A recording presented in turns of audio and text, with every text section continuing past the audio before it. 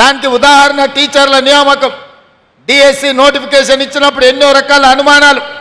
ఎంతోమంది పరీక్షలు వాయిదా వెయ్యాలి అని రోడ్ల మీదకి వచ్చారు. కొంతమంది రాజకీయ ప్రేరేపితమైన కృత్రిమంగా ఆందోళనలు చేపట్టిన నేను ఖచ్చితంగా చెప్పిన గత పది సంవత్సరాలలో ఉద్యోగ నోటిఫికేషన్ల కోసం పోటీ పరీక్షల నిర్వహణ కోసం లక్షలాది మంది రోడ్ల మీదకి వచ్చిన విద్యార్థులారా మీరు ఆలోచన చేయండి.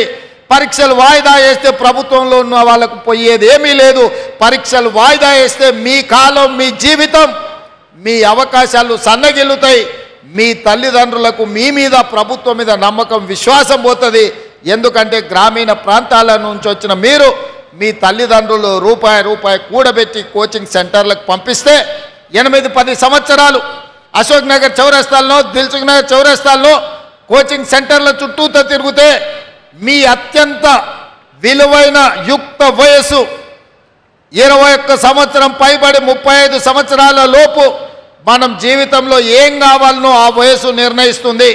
మనం డాక్టర్ అవుతామా లాయర్ అవుతామా ఇంజనీర్ అవుతామా ఐఏఎస్ అవుతామా ఐపీఎస్ అవుతామా లేకపోతే ప్రజా ప్రతినిధి అవుతామా ప్రజాసకుడు అవుతామా వ్యాపారంలో రాణిస్తామా అనేది ఇరవై ఒక్క సంవత్సరాలు పైబడి ముప్పై ఐదు సంవత్సరాల లోపు మన భవిష్యత్తు నిర్ణయం జరుగుతుంది.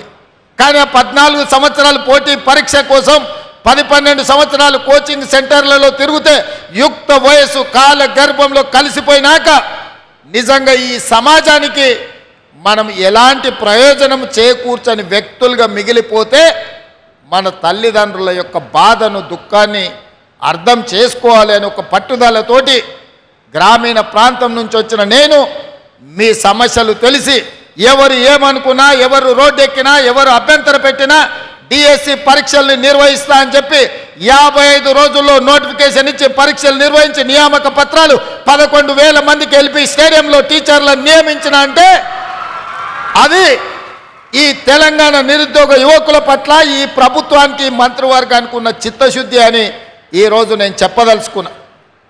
ఇవాళ యాభై వేల ఉద్యోగాలు ఇచ్చినామంటే ఇవాళ మా కుటుంబంలో మా మంత్రుల పిల్లలకు మా ఎమ్మెల్యేల పిల్లలు మేము ఎవ్వరం ఉద్యోగాలు తీసుకోలేదు. తొంభై శాతం నాకు తెలిసినంత వరకు.